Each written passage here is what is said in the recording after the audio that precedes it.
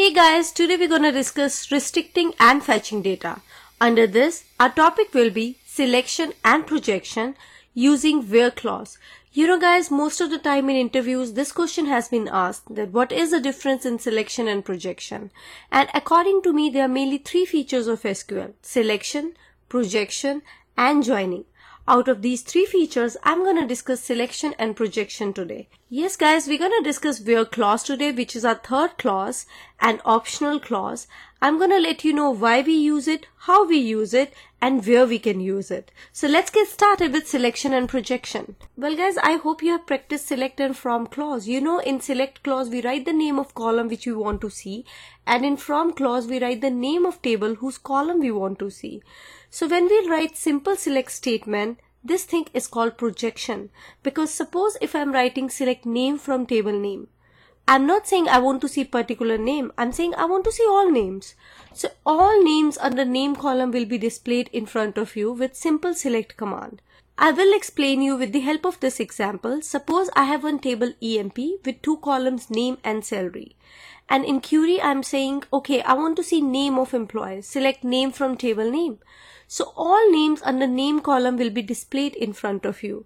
And this concept is called projection because you are projecting on whole column. Whereas selection means that I don't want to view all columns means I want to see particular column according to my condition. For example, suppose I want to see name of employee whose salary is 22,000. In my table, Thomas is the only employee whose salary is 22,000. Here I'm restricting my selection.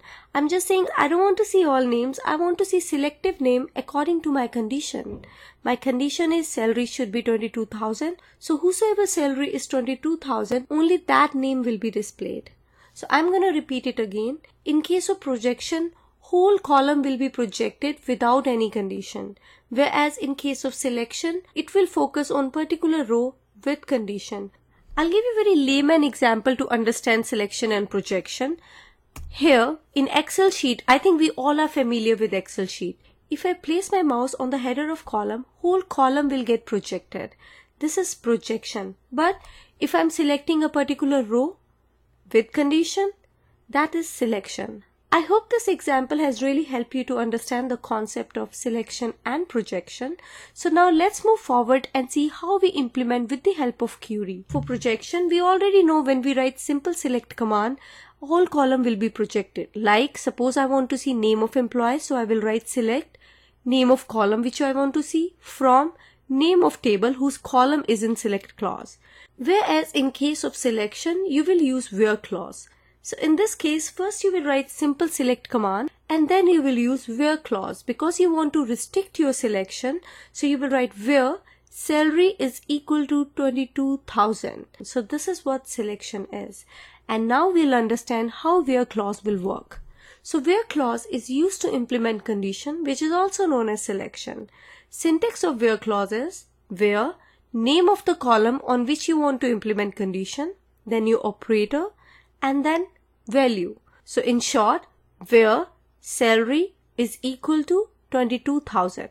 So with this we have covered where clause. Now let's see practically how it will work. So here I am in Scott schema. I will describe you one table on which I will implement projection and selection. So I will write describe EMP. With the help of describe command you can see column as well as data type of that table. I'll display you data in EMP table. So let's see um, select ename from EMP. So it displayed you all name under ename column. These are 14 rows. You might be confused why ename is coming two times. So guys, this is SQL's way to display data. SQL has display data in two pages. For first page also heading ename will be there. For second page also heading ename will be there. After Adams, James will be the next value. Only heading is repeated again because it's a next page for SQL. So with this command, select ename from EMP. I have projected whole column. So all names under ename column has been displayed. Now let's implement selection with the help of where clause. So here I will write same command select ename from EMP where third clause any condition like salary is equal to 800 only one row has been displayed. So in case of selection, I am restricting my data that I want to see only particular data according to my condition. So my condition was salary should be 800 and that name has been displayed. So guys, that was selection and projection and we also practiced how we can use where clause. So with that note, keep on practicing and implementing it. I'll see you in my next video. Thanks for now.